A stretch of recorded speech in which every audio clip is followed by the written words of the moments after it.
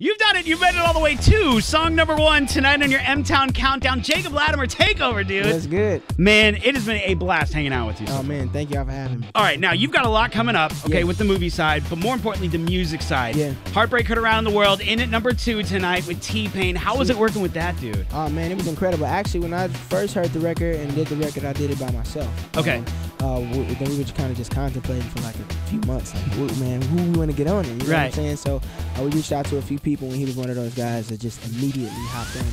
He So, was in uh, here a couple months ago, yeah, T man. Pain. What a cool dude. Yeah, man. And very smart. You Yeah, notice that? Like, super cool, super smart, and uh, quick. Yeah, man, and uh, he was just, you know, he was a fan uh, because I knew Tyrese. Uh, they were actually doing filming uh, Fast Five in Atlanta, so I met him on on that set, and I kind of played him some music, so he became a fan, you know, Check that from then. Look So, at yeah, yeah. that. You got T Pain in the back pocket now. yeah, it was, it was cool. So um, he hopped on the record. He, he loved it. So uh, Okay. yeah, and, and now it is what it is now. So with the album out, all right. I know the single's out, yeah. but the album coming out Right we- now, well, honestly, you know, I'm, I'm, I've been recording a lot. You know what I mean? I, I'm always recording, never out of the studio. But right now, really, I'm just focusing on this single. And Okay. um, you know, I feel like a lot of artists, you know, rush to put albums out. I don't think I'm Yeah. really ready yet. I- Okay. If you uh, honestly, um, I just I feel like I'm I'm still in that grind mode where I, I still need to be keeping content out to the fans. You know what I mean? I just shot a few viral videos and I'm releasing the drop. I don't know when yet, but I will. And uh, A little you teaser know, just there. just keeping just keeping the fan base, keeping the momentum, and then you know when the album do drop, it's gonna be crazy. Who So, would you want to work with? What I want to work with? yeah. um, Who? What collab? Are you just like, that's it? I, I- this has to happen. Like, Yo, and uh, willing to do anything for it. Probably like Justin Timberlake. That's somebody I, Ooh. I really been wanting to work with. Um, Hometown boy. Cause he does a film too. That's something I I really want to mirror uh, Yeah. as far as his career.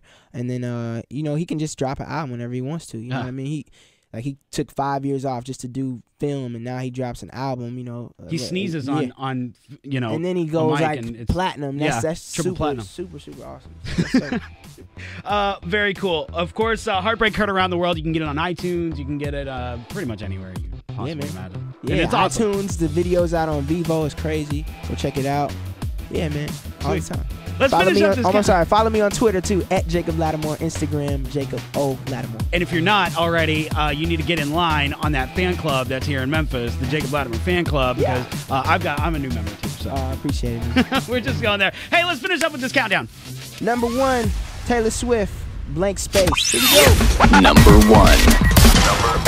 One.